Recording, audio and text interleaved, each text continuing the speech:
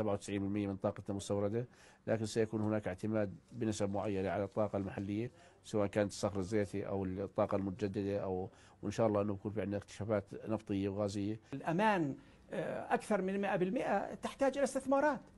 والاستثمارات هذه تكلف الخزينة آه، يعني مبالغ كبيرة